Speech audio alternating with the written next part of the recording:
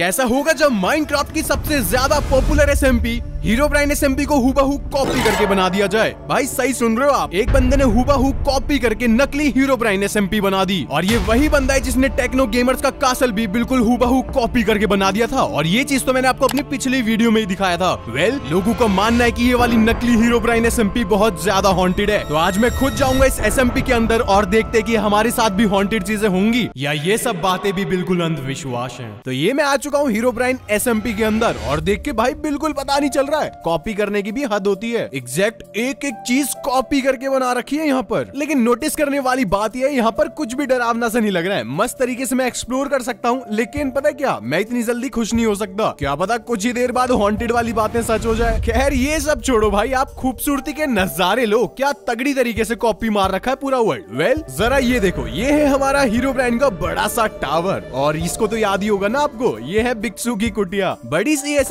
में छोटी सी हट बना रखी है। एंड ऊपर उड़ता हुआ हमारा फ्लीट भाई का आइलैंड भी है। मतलब एक एक चीज़ बिल्कुल सेम है यहाँ पर। तो एक काम करते हैं, जो ये हीरो ब्रांड का बड़ा सा टावर है ना, इसके अंदर चलते हैं। थोड़ी बहुत लूट अपने साथ रख लेते हैं, ताकि वो हमारे आगे जाके हेल्प करे। ओके भाई, सीढ़ियाँ चढ़ते चढ़ते मैं फाइनली टॉप फ्लोर पे आ चुका हूँ। लेकिन यार, यहाँ की चेस्ट आधे से ज़्यादा तो खाली पड़ी है। ये देखो, ये भी खाली पड़ी है, और ये वाली भी खाली पड़ी है। एक काम करते हैं, पीछे वाली चेस्ट में देखते हैं। ओ ये बोए एंडर चेस्ट में हमको अच्छी खासी लूट मिल गई। लेकिन यार, यहाँ पर खाना नहीं है। मेरे को बड़ी तेज भूख लग रही है। खैर, फ़िलहाल के लिए तो अपने साथ तलवार रख लेते हैं, ताकि आगे भूत से लड़ाई करने में हमारे काम तो आए। खैर, मज़ाक बहुत हो गया। सीधा छलांग मार के हमारे ग्राउंड फ्लोर पे चलते हैं। और इस टाइम ने यार मेरे को कसम से बहुत भूख लग रही है। मेरा जरा हॉट बार देखो भाई। फाइनली मैंने इतना ज़्यादा ढूंढा हर किसी के घर में, किसी के घर में खाना नहीं मिला। लेकिन लास्ट में खाना मिला भी तो कहाँ मिला? चर्च के अंदर। ओ भाई, अब होगी हमारी पेट पूजा अच्छे से। तो फ़िलहाल अब मैं एक काम पे लग जाता हूँ। जरा देखो मेरे पास दस दस कैमराज हैं। एंड ये कैमराज मेरे लिए आज के लिए बहुत ज़्यादा इंपॉर्टेंट है, क्योंकि इन कैमराज को मैं हर एक बिल्डिंग के साइड में लगाने वाला हूँ, ताकि हॉरर चीज़ें मेरे कैमरा में रिकॉर्ड हो जाएँ। क्योंकि यार ये इतनी ज़्यादा बड़ी एस है, मैं कहाँ कहाँ क्ल्यू ढूंढता रहूँगा। तो एक कैमरे को यहाँ पर लगा देते हैं, ताकि सामने का व्यू आ जाए, और एक कैमरा हम जस्ट यहाँ इस वाली बिल्डिंग पे लगाने वाले हैं, ताकि बड़ा एरिया मेरे कैमरे में रिकॉर्ड हो जाए। तो मैंने ना अपने साथ इस होर्स को ले लिया था, जिसका नाम टुक टुक है। इधर उधर जाने में हमारी इजिली हेल्प करेगा ये।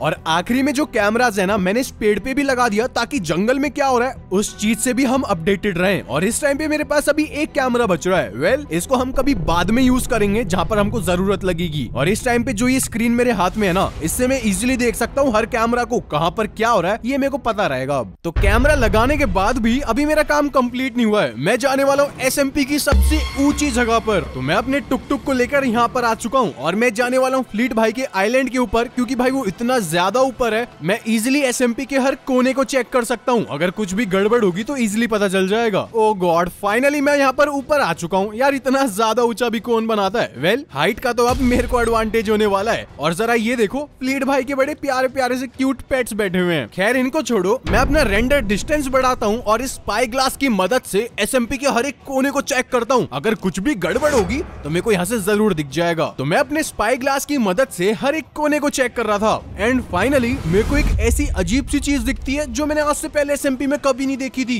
जरा ध्यान से देखो, उस पहाड़ के नीचे दो ट्रैप डोर जैसा कुछ बना हुआ है। एंड जहाँ तक मेरे को याद है, किसी ने भी हीरो ब्राइन एस में ये चीज़ नहीं बनाई थी। तो मैं बिना देरी करे ऊपर आइलैंड से नीचे पानी में छलांग मार देता हूँ। क्योंकि भाई मेरे को जल्दी से उस ट्रैप डोर्स के पास जाना है और देखना है, भाई आखिर ऐसा क्या बना हुआ है वहाँ पर? तो यहाँ पर काफ़ी सारे पहाड़ों पर चढ़ने के बाद फाइनली मेरे को वो ट्रैप डोर्स मिल जाते हैं, जो मैंने अपने स्पाई ग्लास से देखे थे। और यहाँ पर भाई कुछ तो मेरे को मिस्टीरियस लग रहा है। एंड जैसे मैं यहाँ पर अंदर जाता हूँ, मैं शॉक्ड हो जाता हूँ लिटरली इस चीज़ को देख के जो मेरे दिमाग में पहली चीज़ आई है, वो ये कि भाई यहाँ पर जादू टोना हो रहा है क्या? यहाँ पर हमारे स्टीव का हेड पड़ा है, स्केलेटन का हेड पड़ा है, और तो यहाँ पर बीच में कैंप फायर भी है, जो इस टाइम पर भुज चुका है। Literally guys I have no clue please मेरे को नीचे कमेंट में बताना की हीरो ब्राइन एस में किसी यूट्यूबर ने ऐसी चीज़ बनाई थी क्या? क्योंकि मेरे को तो बिल्कुल याद नहीं है। लेकिन मैं तो ये सोच रहा हूँ कि इस रूम के अंदर कोई भला जादू टोना करेगा ही क्यों? और मेरे को जहाँ तक पता है हीरो ब्राइन एस में ऐसा किसी ने नहीं बनाया। तो मैं फटाक से वापस इस टनल से बाहर निकलता हूँ। एंड मेरे दिमाग में एक आइडिया आता है, जो मेरे पास ये कैमरा बचा हुआ है ना, मैं ये लीव्स को तोड़ के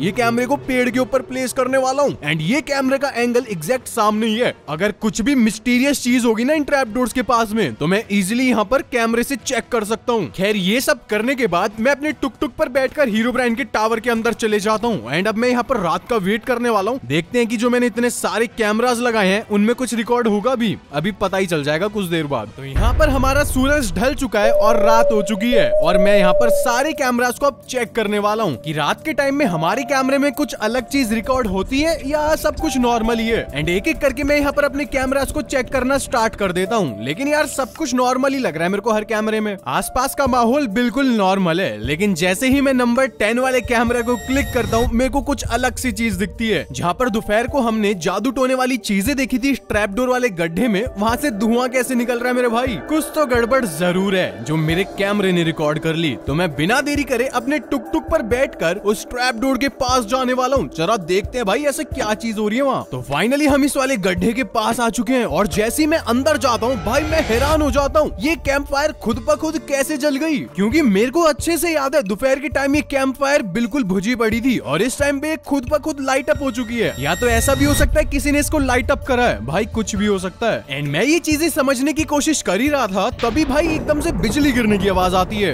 एंड मैं ये सोचता हूँ, बिना बारिश के बिजली कैसे गिर सकती है? तो मैं अपने सारे कैमरास को चेक करना स्टार्ट कर देता हूँ। आसपास तो कहीं पर भी कोई आग नहीं लगी हुई है। एंड जैसे मैं नाइन नंबर वाले कैमरे को चेक करता हूँ, भाई, मेरे को ये अजीब सा स्ट्रक्चर दिखता है। एंड ये वही स्ट्रक्चर है जो हीरो ब्राइन के होने पर बनता है। एंड तभी एकदम से स्ट्रक्चर के ऊपर लाइटनिंग बोल्ट गिरती है। भाई, यहाँ पर कुछ तो कुछ गड़बड़ ज़रूर है। तो मैं अपने टुक टुक पर बैठ कर जल्दी से उस कैमरे के पास जाता हूँ और जैसे मैं पहुँचता हूँ, मुझको वो स्ट्रक्चर मिल जाता है जो मैंने कैमरे के अंदर देखा था। एंड गाइस जिसको नहीं पता, मैं उसको बता दूँ, ये स्ट्रक्चर जब बनता है, जब आसपास हीरो ब्राइन होता है। वेल इस टाइम पे मैं बहुत ज़्यादा कंफ्यूज था और तभी मेरे को एक स्केलेटन दिखता है जिसने पूरा लेदर का आर्मर पहन रखा है। ये काफ़ी ज़्यादा रेयर है। लेकिन इसको छोड़ो, जरा ये देखो, एक ऐसा स्केलेटन जिसने पूरा गोल्ड का आर्मर पहन रखा है। इस चीज़ के होने की पॉसिबिलिटीज बहुत ज़्यादा कम होती है। एंड जो वहाँ के आसपास वाले स्केलेटन थे, उन्होंने मेरे पे अटैक करना शुरू कर दिया था। और तभी मेरे को एक और स्केलेटन दिखता है, जिसकी वो एंचेंटेड थी। भाई, इतनी ज़्यादा रेयर चीज़ें एक साथ कैसे हो सकती है? लेदर आर्मर वाला स्केलेटन तो समझ आता है, लेकिन भाई, ये गोल्डन आर्मर वाला स्केलेटन और एक ऐसा स्केलेटन जिसकी वो एंचेंटेड है, बहुत ज़्यादा रेयर चीज़ हो गई भाई। वैली स्केलेटन मेरे ऊपर बहुत बुरा अटैक कर रहे थे तो मैं फटाक से अपने टुक टुक पर बैठता हूँ और जल्दी से अपने सेफ़ टावर के अंदर भग जाता हूँ। और हद तो तब हो जाती है। जैसे मैं टावर के पास पहुँचता हूँ तो मेरे को पता लगता है कि टावर की ज़मीन ही गायब हो चुकी है। दो तीन सेकंड के लिए मैं यहाँ पर सोच में पड़ जाता हूँ कि ऐसा पॉसिबल भी कैसे है। पूरे टावर की ज़मीन गायब पड़ी है। एंड फिर मेरा गेम थोड़ा बहुत ग्लिच होने लग जाता है और जैसे मैं पीछे मुड़ के देखता हूँ तो मेरे को पता लगता है वही सेम स्ट्रक्चर मेरे टावर के सामने भी बने हुए हैं। और जैसी मेरी नज़र जाती है टावर के टॉप पे तो मेरे को पता लगता है वहाँ पर कोई एंटिटी खड़ा है और वो और कोई नहीं, हमारा हीरो ब्राइन है। यकीन करना काफ़ी ज़्यादा मुश्किल है। पूरा मौसम खराब हो चुका है और भाई आसपास बिजलियाँ भी कड़क रही हैं और तभी एकदम से मेरा गेम क्रैश हो जाता है। लिटरली भाई, ये वर्ल्ड तो बहुत ज़्यादा डरावना निकला।